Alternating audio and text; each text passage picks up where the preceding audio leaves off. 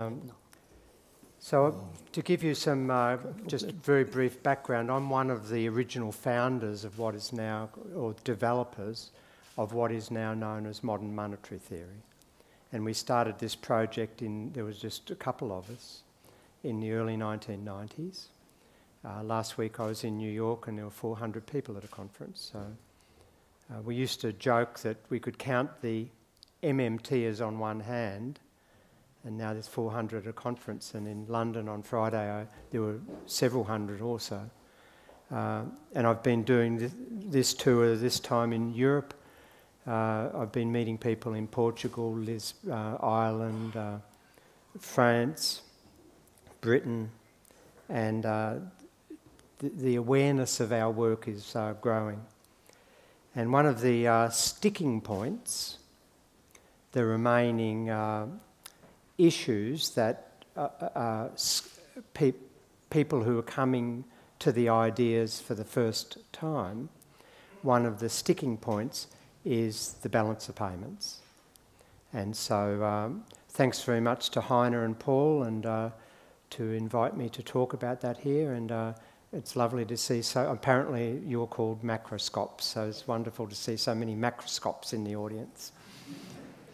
Um, the, the first slide here just gives you some fundamentals of what MMT is in case you haven't embraced it or come in contact with it yet. And so the a, starting point of many could be this one here that the uh, fundamental there, there is a fundamental difference in a monetary economy between the currency issuer and the currency user. And uh, mainstream macroeconomics tends to conflate those two as if there's no difference. And we, uh, students are taught around the world that uh, uh, the government is, the currency issuing government is like a big household and is subject to the same financial constraints as us as households are. So we either have to earn, earn go to work and get income, uh, we have to, to spend, uh, or we have to deplete our prior savings, or we have to uh, sell assets, or we have to borrow in order to spend. And um, a currency issuing government, like almost all governments, is not constrained financially in any way. Now, I exclude the 19 member states of the Eurozone because all of your governments use a foreign currency. And that's a fundamental difference between a sovereign country and a non sovereign country. None of the 19 member states are sovereign in their own currency. And um, the second point, what, what that means then is that a currency issuing government can always buy whatever is for sale in its own currency without question and that includes all idle labour.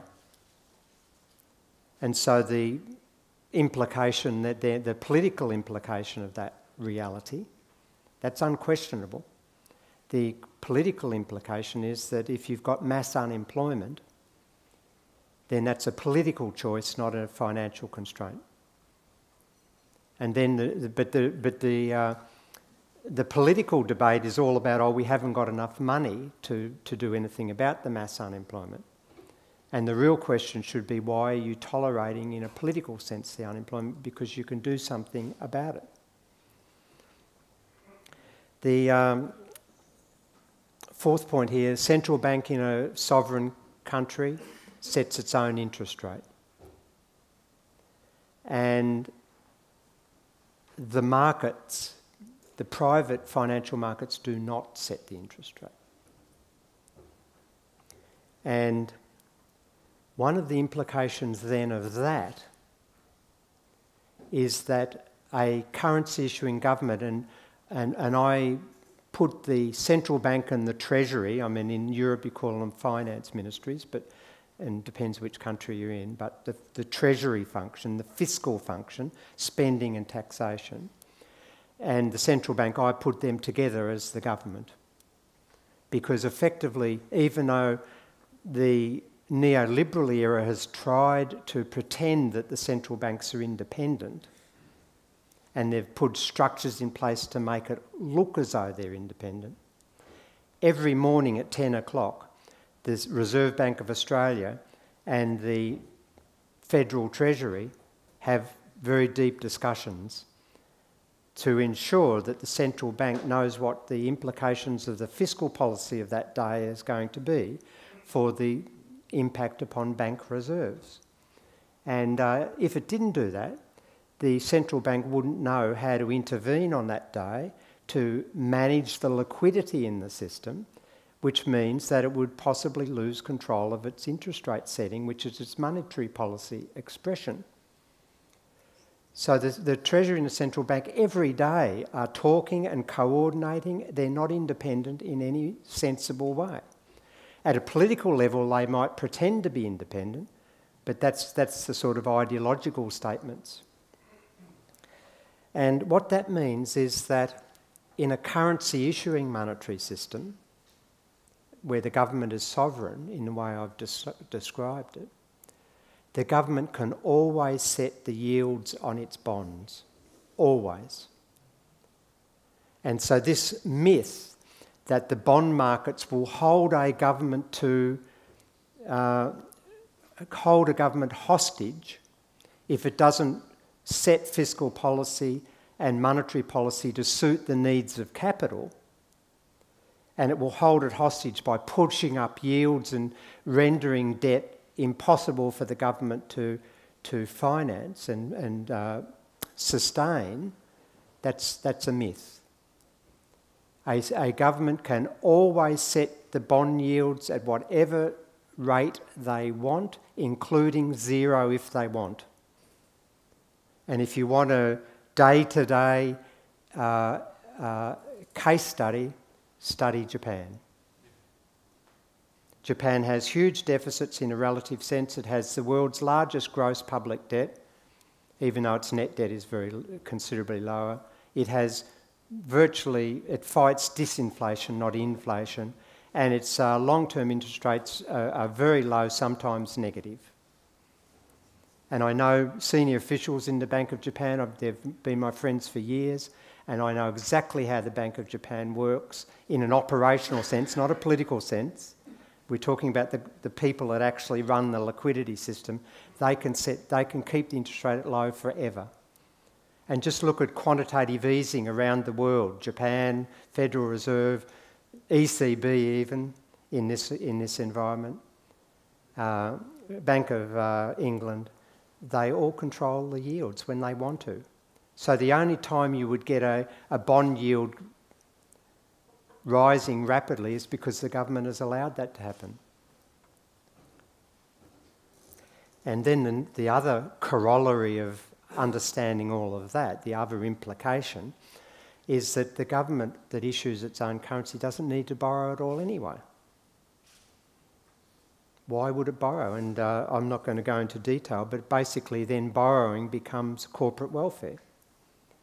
We had a situation in Australia at the end of the 1990s. The federal government was conservative, had been running fiscal surpluses and uh, not, not rolling over debt as it matured.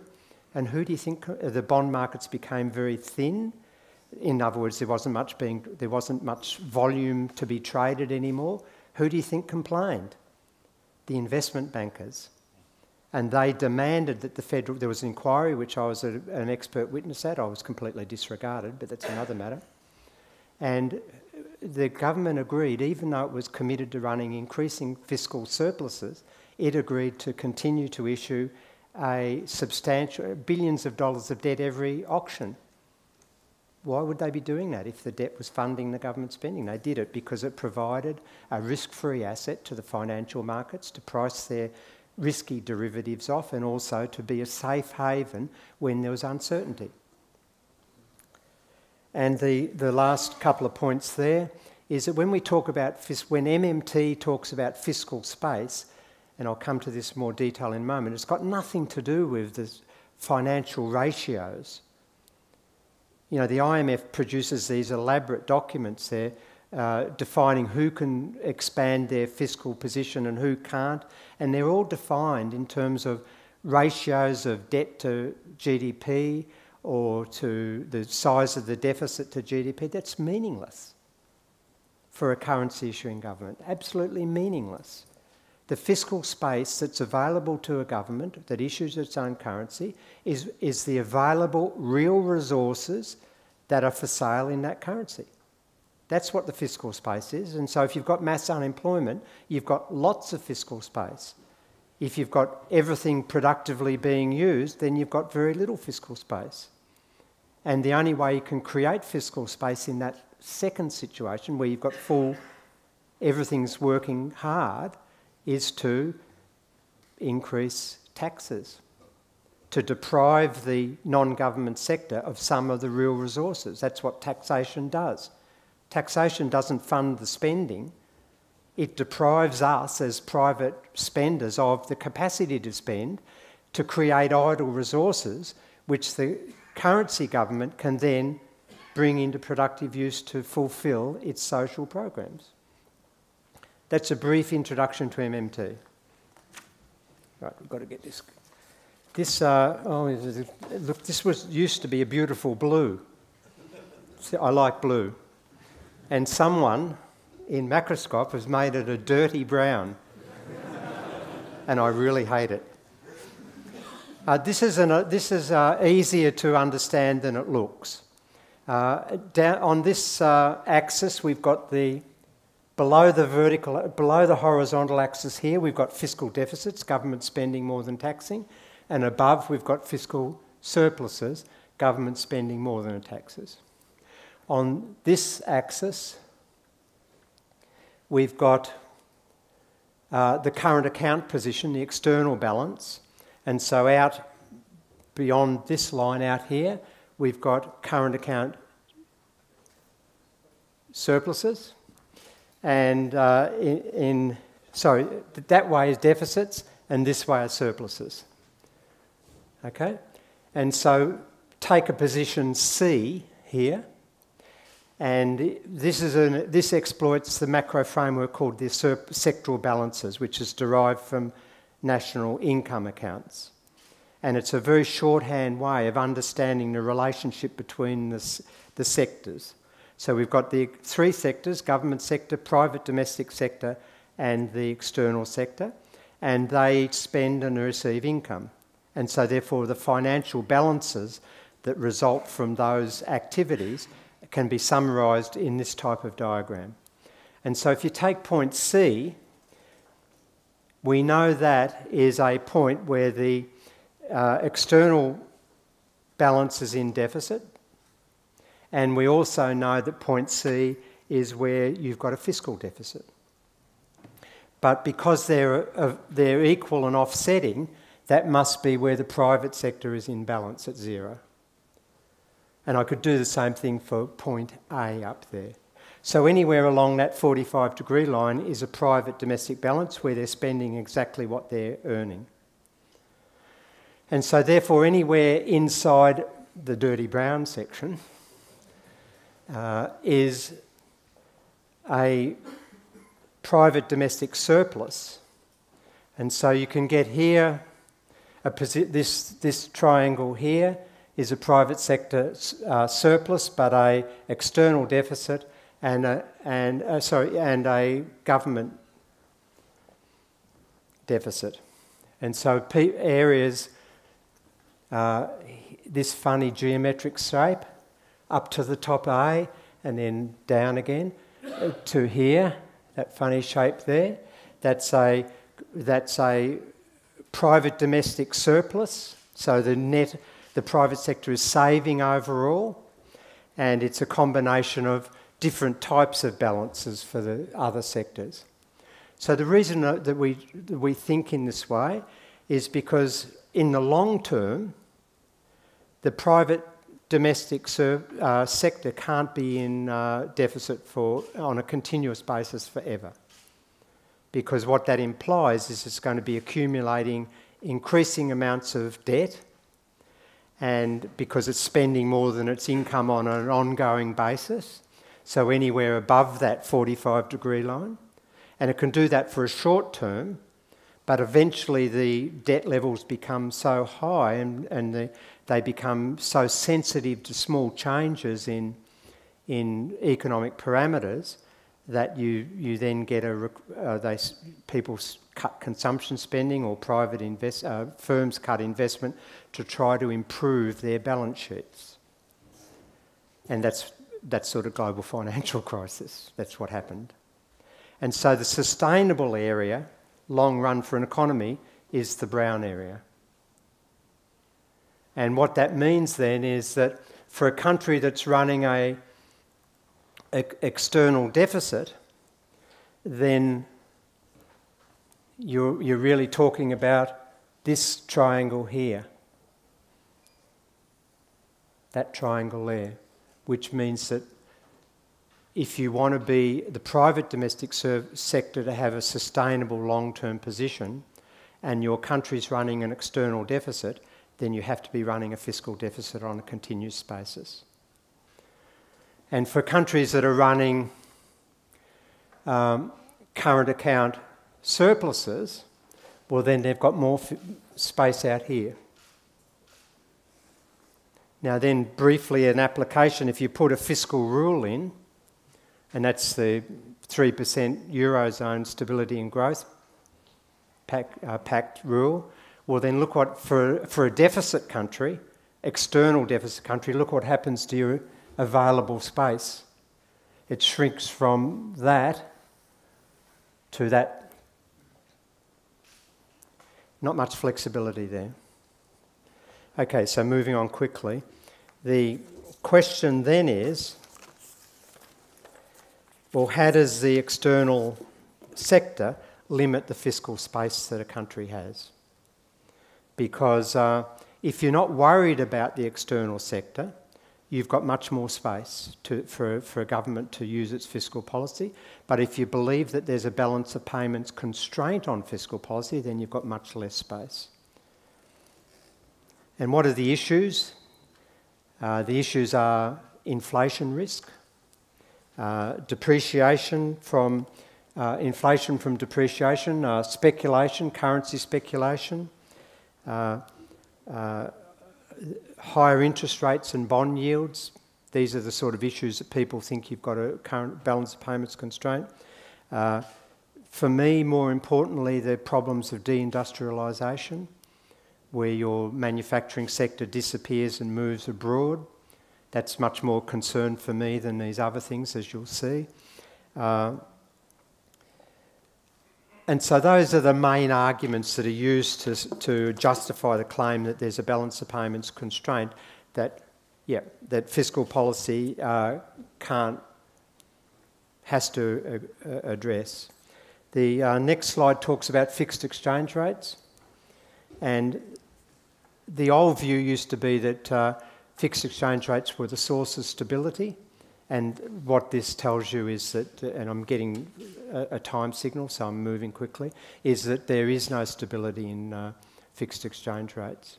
They did present a, a, this, this stop-go uh, constraint because if as soon as you, you expanded growth and pushed out imports, you put downward pressure on your exchange rate.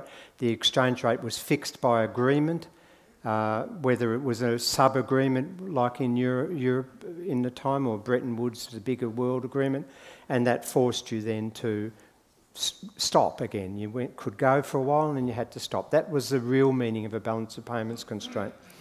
And uh, uh, it, it, it created in, in external deficit countries a recession bias and ultimately it was politically unstable. You couldn't, you know, France couldn't continue to to to, to operate effectively in a in a, or Britain was a good example in a uh, fixed exchange rate regime. What what flexible exchange rates did for those who adopted them after August 1971, a little bit later because there were attempts to revive Bretton Woods, but only a couple of years, was that for the first time in a long time, the central bank had the capacity to set its own interest rate and fiscal policy no longer had to be sympathetic, that is, passive to the monetary policy. And that was that recession bias I talked about. And so you could allow your external imbalances, and I don't even use the word imbalance to describe a current account deficit, but you could allow the exchange rate to mediate those imbalances and pursue, use your fiscal policy and monetary policy tools to pursue domestic objectives like full employment. Now I'm just going to uh, skip a few things here. That's it. Now, uh, under flexible exchange rates, that stop-go constraint, which was the way in which the balance of payments constrained a fixed exchange rate system under Bretton Woods, that's no longer applicable. And so the, the, the, the main arguments are that a flexible exchange rate is regime is vulnerable to imported inflation because of depreciation. Now that's true. Uh, uh, and the depreciation and the imported inflation can negate the real benefits from any fiscal stimulus in domestic economy. That's true too. And uh, what does it depend upon? Well, it depends upon, first of all, what we call pass through, how, how, how strongly the exchange rate passes through into import prices, and, and then it depends upon how important import prices are to the domestic price measures. And the evidence is that the pass through effects tend to be very slow, they tend to be relatively weak in most countries, and uh, they, there, there is obviously evidence of some imported inflation, but it's, it's not significant in most countries, and it's not. Uh, uh, it's relatively finite. I, this, I won't have time to do this graph in detail, this table. I come from a small open economy, and we have swings in our exchange rate from 50 cents US to $1 US within a matter of a couple of years we're among the, you know, we're second or third wealthiest country in the world. Our exchange, we, we don't export uh, industrial goods, we export primary commodities, which have terms of trades doing that. And when the exchange rate, you know, there's two examples when the exchange rate fell 20, 36% and then it went up 48% in a five year period. Massive swings, yet we hardly notice it. The, the, top, the, the, the high income earners uh, notice it because imported BMW motor vehicles become more expensive. So what? And trips to uh, Swiss Alps for ski holidays become more expensive. The rest of it, don't, us don't go on ski trips to Swiss Alps, we go camping up the coast on the beach. We hardly notice it. And sure, we complain, oh, you know, iPhones are now more expensive. And then a couple of years later, we're saying, God, the iPhones are cheap. The, the, the, this, this slide here talks, I've got one more minute, so we, have got to round it up. Um, this this slide here talks about currency speculation. The, the bottom line is that under a fixed exchange rate system, the costs of defending the peg were huge in real terms relative to what happens under a flexible exchange rate system. And if, if things get really disastrous, you, a, a, a, currency issuing government that's in charge of its legislature can always introduce currency controls. Now look at Iceland. It's a small little volcanic rock. It had the biggest banking crash in history, and it's tied up the two, two very large American hedge funds tied their funds up in Iceland by imposing capital controls. There's been legal battles trying to, the hedge funds have been trying to get the government to, to, to release the money. They've lost. It tells you that a sovereign government with legislative capacity and sovereignty can, is, the, is in charge. It's the boss. And I talk here about the Widowmaker, and you can ask me about that in question. It's about Japan's 10 year bond trade. The last points I'd make, I just want to make sure I get things that are important in the last 30 seconds is that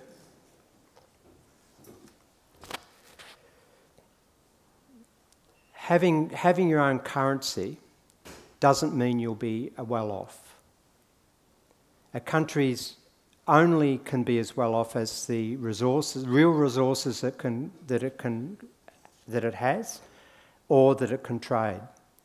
And so there are situations where there's, and I, I, I do work in developing economies, where these countries have got nothing that anybody wants for sale, for exports, and they're food dependent or they're energy dependent. Well, well, having currency sovereignty isn't going to help that. All it can do is bring what resources, meagre resources that country has, they can bring them always into full productive use. And that's a role for, and, and what, what MMT has argued is that that presents a role for a multilateral institution. And uh, so the IMF really should be helping those countries, not hindering them. And the last point I'd make relates to uh, industrial, deindustrialisation. And uh, there, there's no doubt that a country that's running chronic external deficits, and by the way, Australia runs external deficits of about 4% of GDP and it's been doing it for 50 years. And we live, we live very well because we can persuade foreigners to put this sort of stuff on ships and send it to us, and all they want back is some bits of paper, some financial claims in Australian dollars. Live it up while you can. It doesn't mean that they might suddenly not want our financial assets, but while, while they want them and are willing to give up real resources to do it, then we, we party and have a good time. But that's not to say that that can't shift very quickly and when you do have those sort of uh, shifts in preference for your financial assets, it's painful, no doubt about it. But it doesn't happen very often. And what, what normally is the case is why do people, why do foreigners want to accumulate your financial assets? Because you've got stable government, because you've got a well-defined contractual and legal system where there's certainty, because you've got skilled and well educated labour and you've got diversified investment opportunities in your economy.